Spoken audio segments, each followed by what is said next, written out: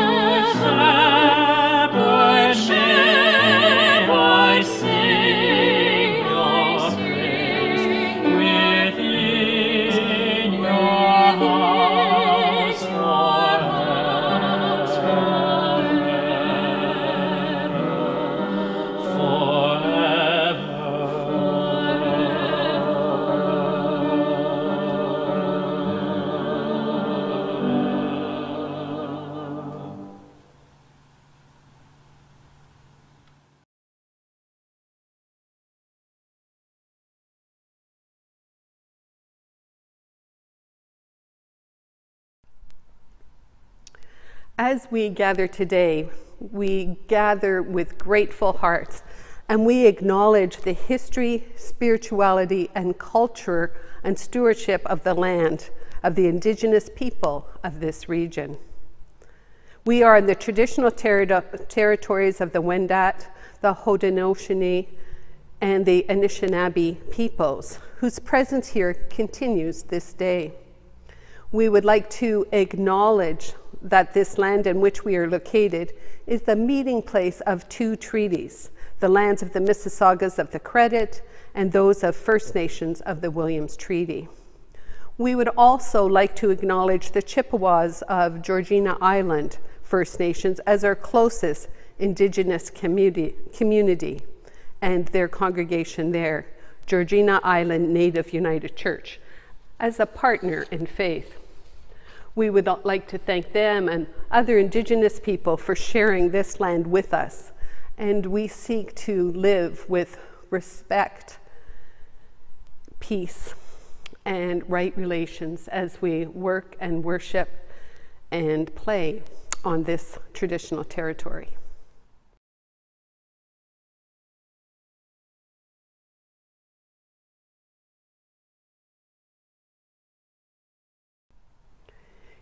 Hear these words of Jesus I give you a new commandment that you love one another, just as I have loved you. You also should love one another. By this, everyone will know that you are my disciples, if you have love for one another. We come to worship needing love in our lives love of family, love of friends and strangers and enemies, love in the community. In this time of worship, let us open our hearts to God and to one another and may we discover the love of God that surpasses all understanding.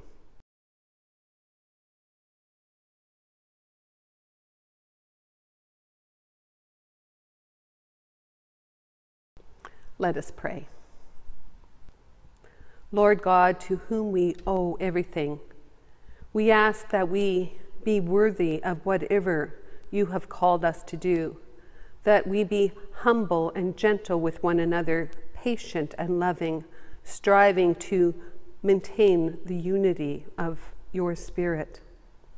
There is one body and one Spirit, one hope, one Lord, one faith, one baptism, one God and Father of all, and that is you. But each of us have been given grace according to the gift of faith some to be apostles, others to be prophets, some to spread the word, and some to care for others, others to be preachers or healers, all of us to equip one another for the sake of building up the body of Christ. We are that body to learn and to pass on the things that we have been given in Christ and not merely to assign to Christ every passing fancy. We are to speak the truth always, and always with love, so that the whole body may be knit together. In all this, we often fail and usually falter. Make us each, O God, a part of your body, so that we may, as a community, be the witness to your presence in the world we pray the words that Jesus taught Our Father, who art in heaven, hallowed be thy name, thy kingdom come, thy will be done on earth as it is in heaven. Give us this day our daily bread and forgive us our trespasses as we forgive those who trespass against us. And lead us not into temptation, but deliver us from evil. For thine is the kingdom and the power and the glory forever and ever. Amen. Now, hear these words of assurance. No matter where we are, God is there. No matter what we have done, God forgives. No matter our reluctance to turn to God, God welcomes us and accepts us. With that assurance, live. Live in the fullness of life. Live each day afresh and let go of the past and live in today in hope and in freedom. Amen.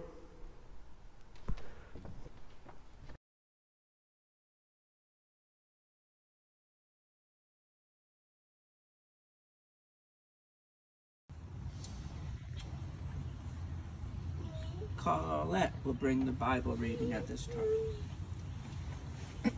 Reading from the Ephesians.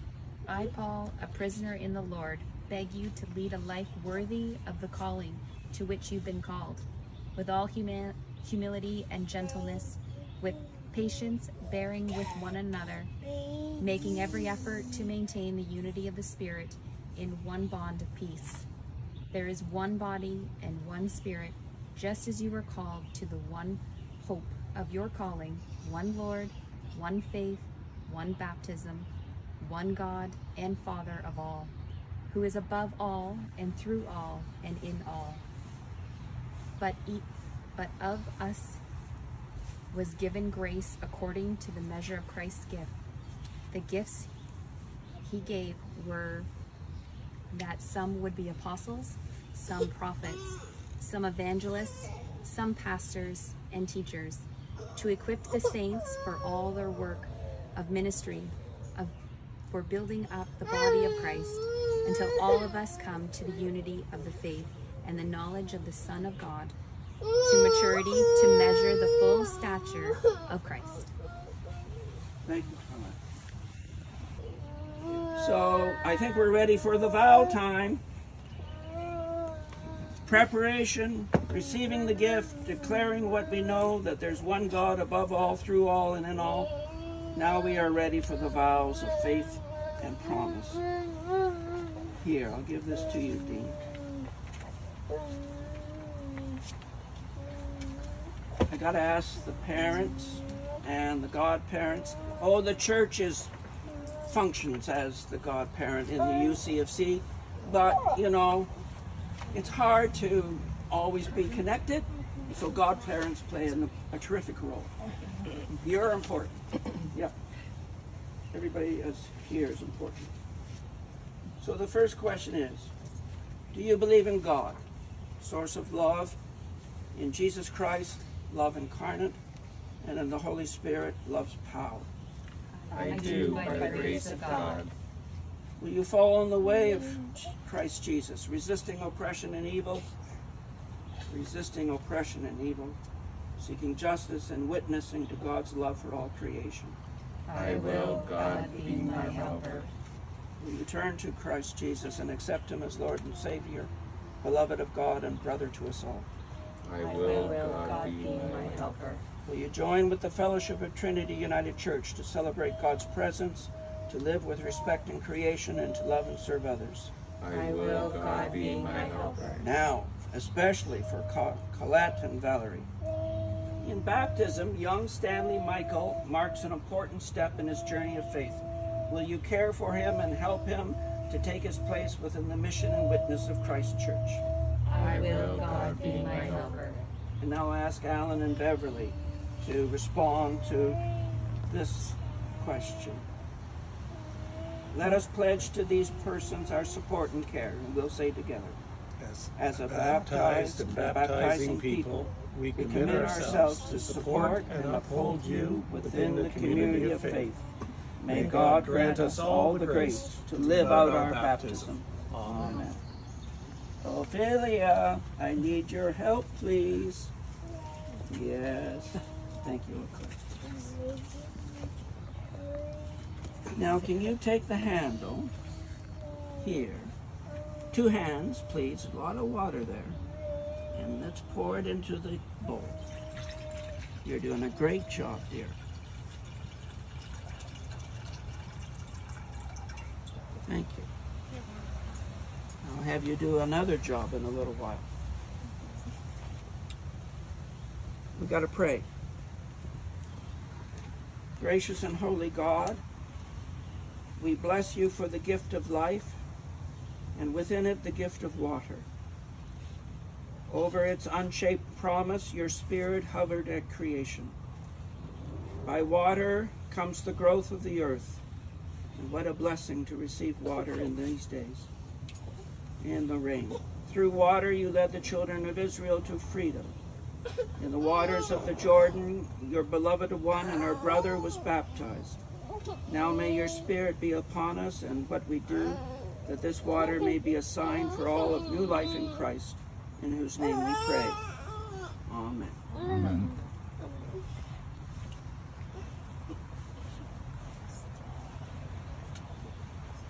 Stanley, do you know your brother's name? Stanley, Do you know his middle name? Michael, Thank you, dear. He can hold him up. Yeah. Stanley Michael. Hello, young man. Stanley Michael, I baptize you in the name of the Father and of the Son and of the Holy Spirit. Stanley Michael Hardiman, Hardiman, I, I declare you to be a member of the Christian Church.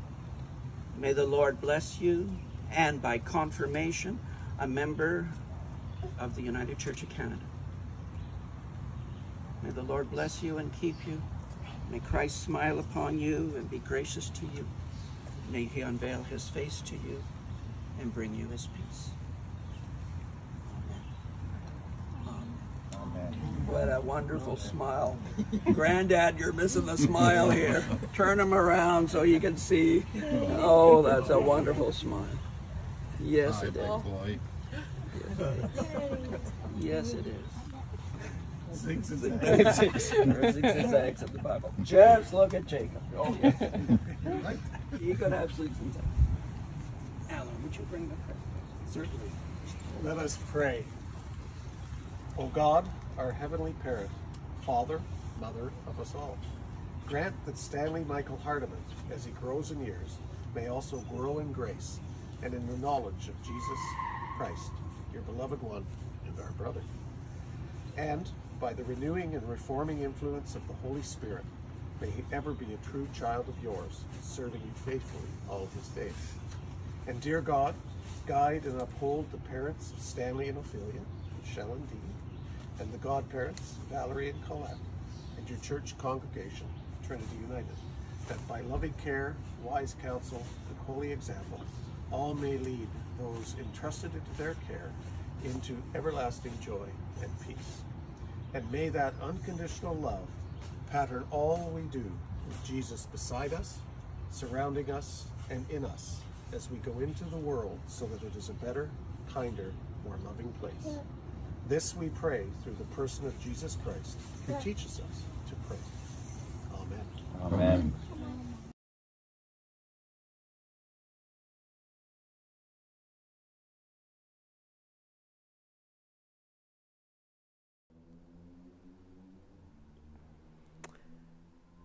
Our lectionary reading today is the same scripture that Reverend Ross used at Stanley's baptism.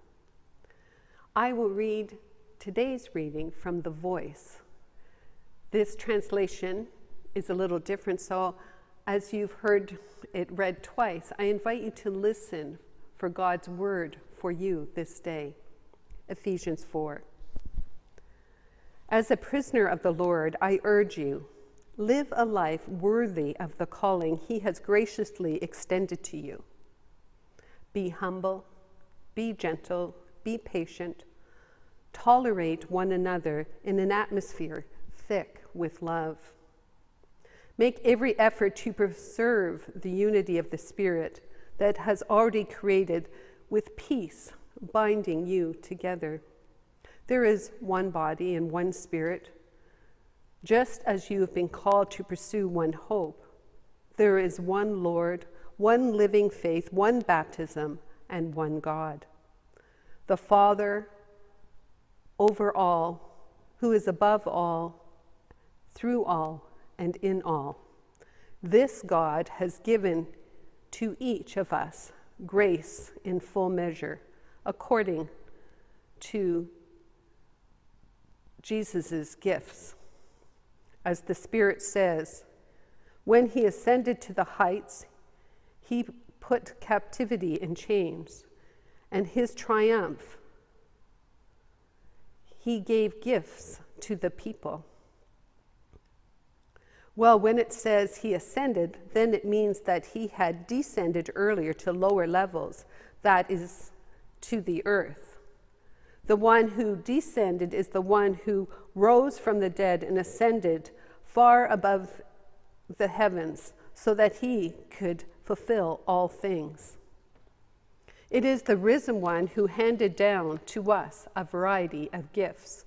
So some of us would be apostles, some prophets, some evangelists, some pastors and teachers, so that God's people would thoroughly be equipped to build up the body of Christ until all of us come to the unity of faith and be filled with the knowledge of the Son of God until we stand mature in his teachings and fully formed in the likeness of the anointed or the liberating friend.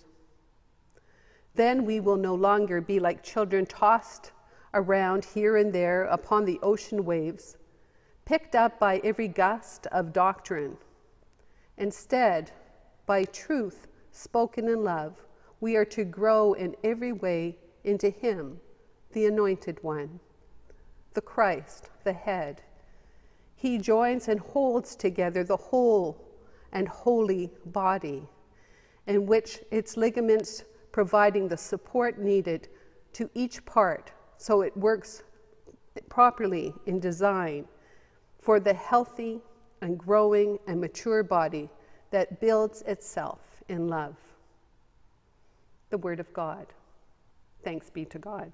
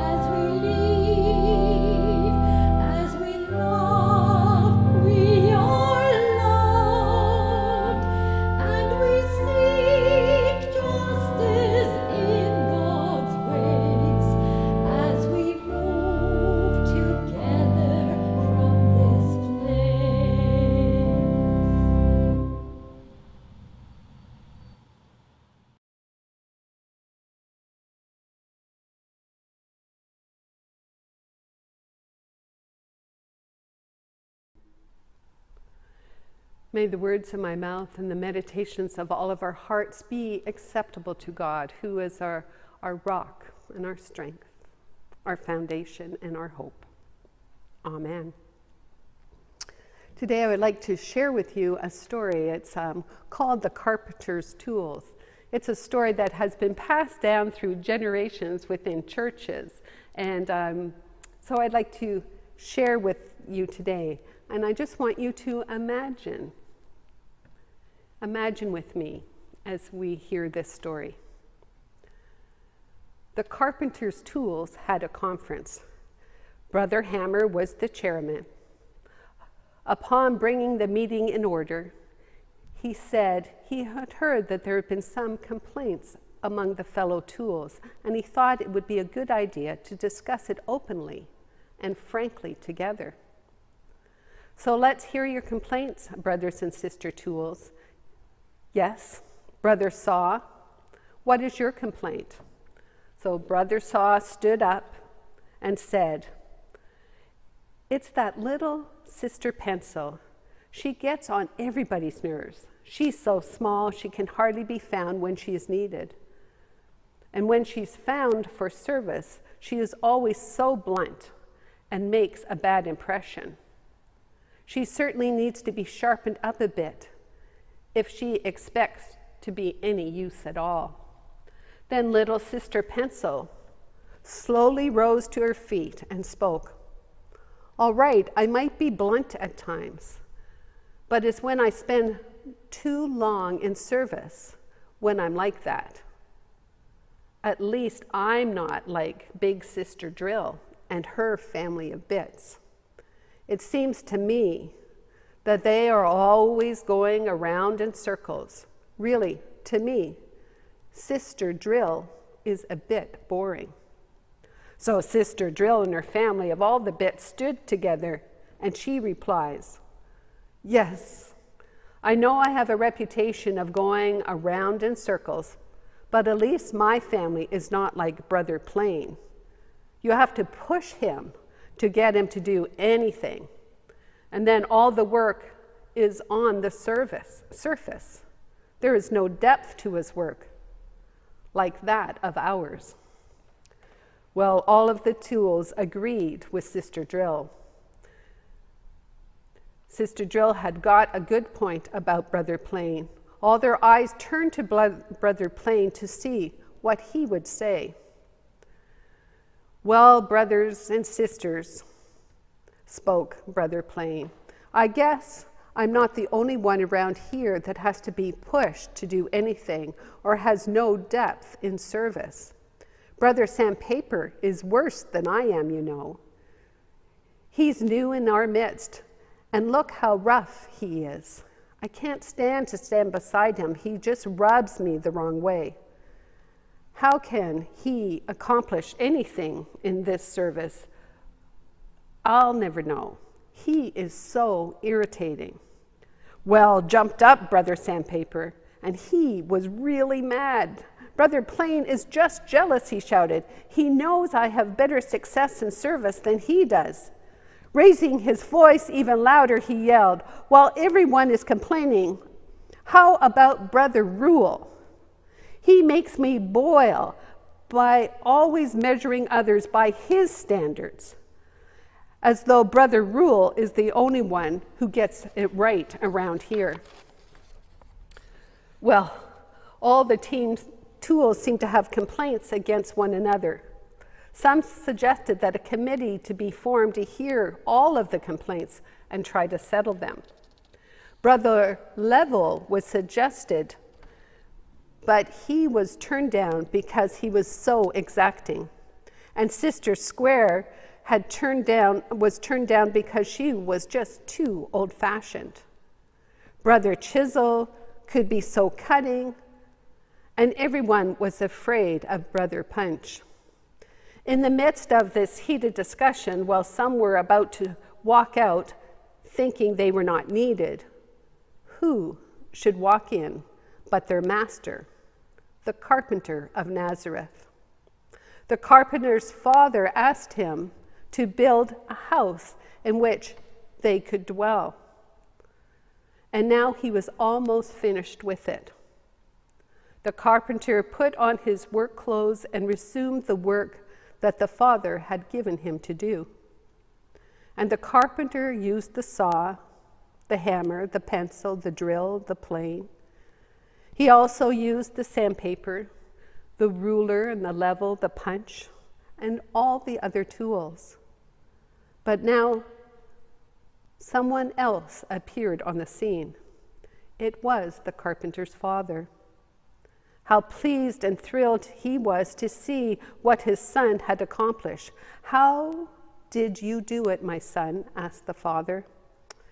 Well, said the son, I put to use all the tools I have, and how I love every one of them.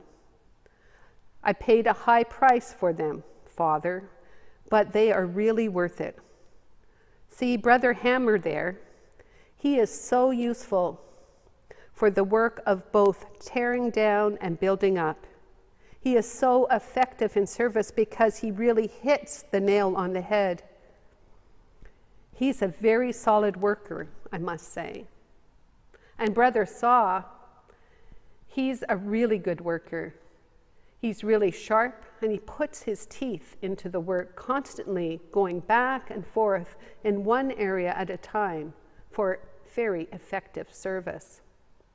And I'm sure glad to have Sister Pencil too, although she's not very big, and I have to sharpen her up and a little from time to time.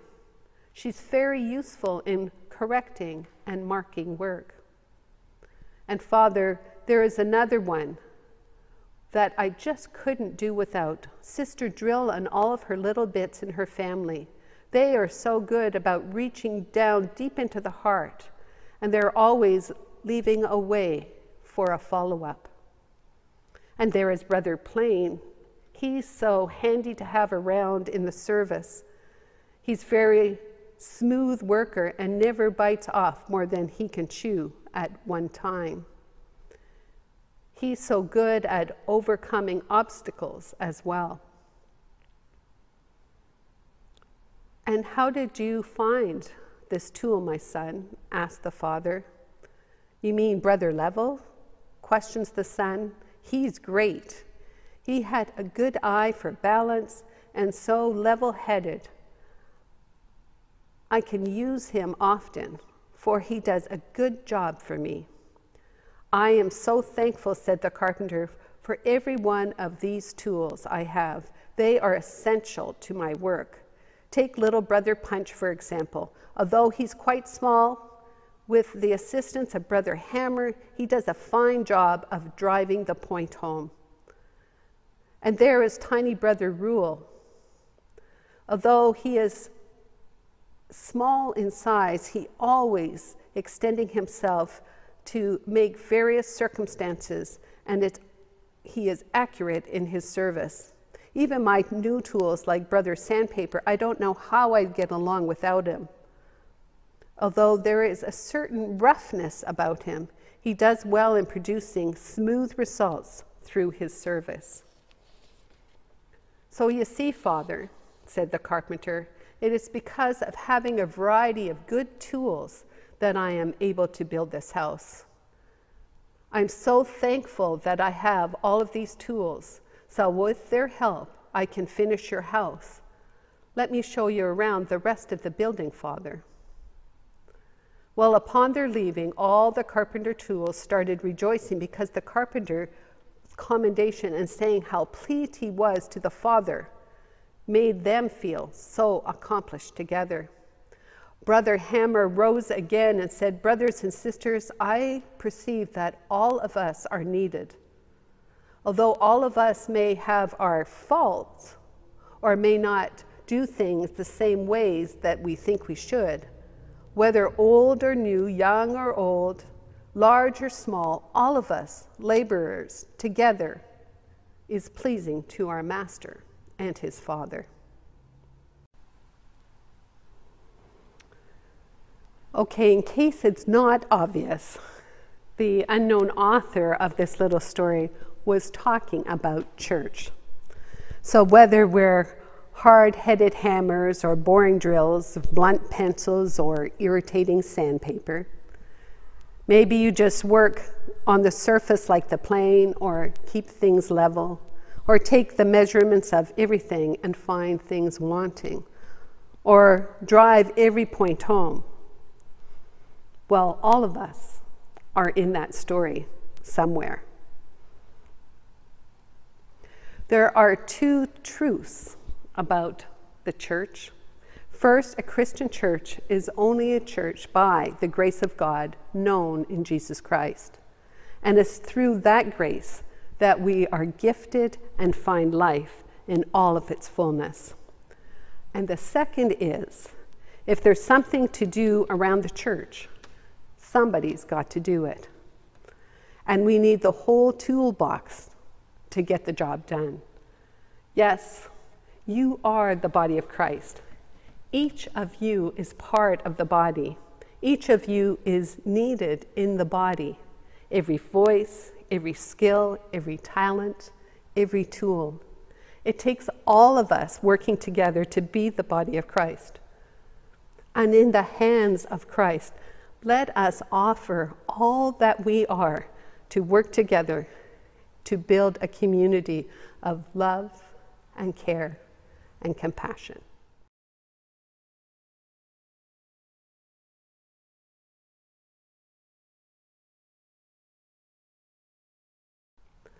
Let us pray.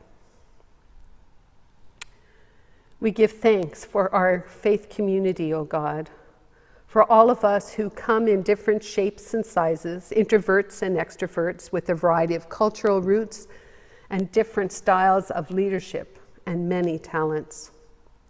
Help us to lead a life worthy of your calling, O God. Enable us to live and work with all humility and gentleness, with patience, bearing with one another in love, speaking truth with love, and making every effort to maintain a bond of peace. Spirit of God, you have called our community of diversity together. Hold us in unity, we pray. Hold us in unity of faith. Enable us to use all the gifts that you have blessed us with to make a difference in our community, in our families, in, in the world. God of grace, we offer our prayers for our world. We give thanks for our new Governor General, Mary Simon. We give thanks for the many gifts that she brings to the office, and we ask that you bless her with wisdom, courage, and strength in her leadership. We pray for Prime Minister Justin Trudeau and all the leadership, including Tony Van Bynen. Bless them in their diversity that they may work in unity for this country. We pray for Indigenous siblings as searches continue across the country for unmarked graves. God, hold our siblings near in this tender time and bless them with comfort and courage. Source of love. This is a precarious and tenuous time as we learn to live in new ways with COVID, since it is still in our midst. We are so grateful for the miracle of the vaccinations, yet there are concerns for the surge of the Delta variant, and there remains a vaccine inequality around the world. Help us to find ways to bring care and healing to all who are in need. We still do not know what the long term effects of the pandemic will have on our collective health or economics or social structures remind us that our being and well being are tethered to one another. May we place our trust in you, and may your transformational love unclench our grip on fear. The U.S. gymnast Simone Biles stepped away from competing in the Olympics to focus on her mental well health. Holy One, we are grateful for those who articulate their need for help, who prioritize their health over others' expectations, and who know the freedom that can come from setting boundaries.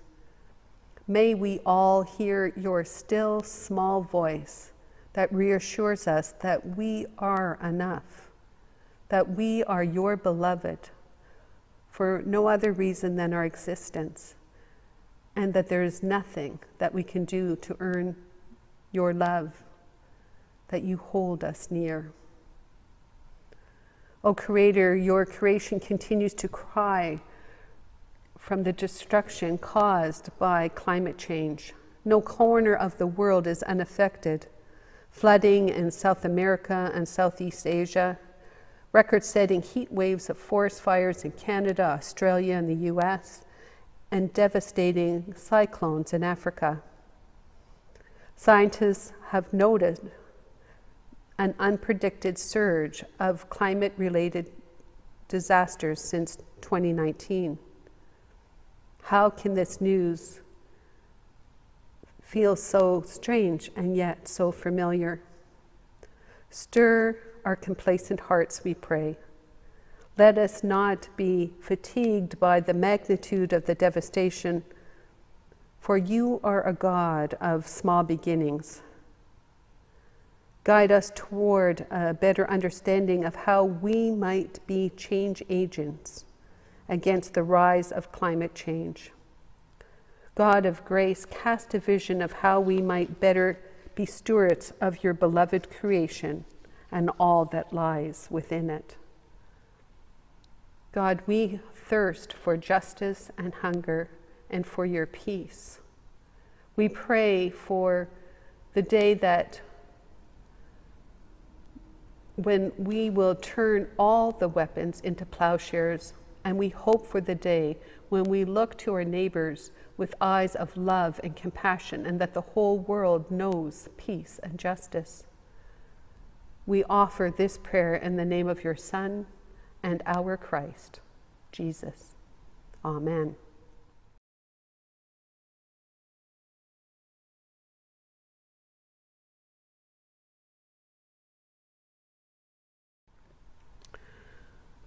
Dear friends, let us go into this week knowing that we are enough, we are beloved, and that we all have gifts to share. Let us go now with caring and daring hearts, with the blessing of God, the parent, mother, and father of all, Jesus Christ, our brother, who blesses us with gifts of grace and the Holy Spirit who moves us into service. Let us now go in peace. Amen.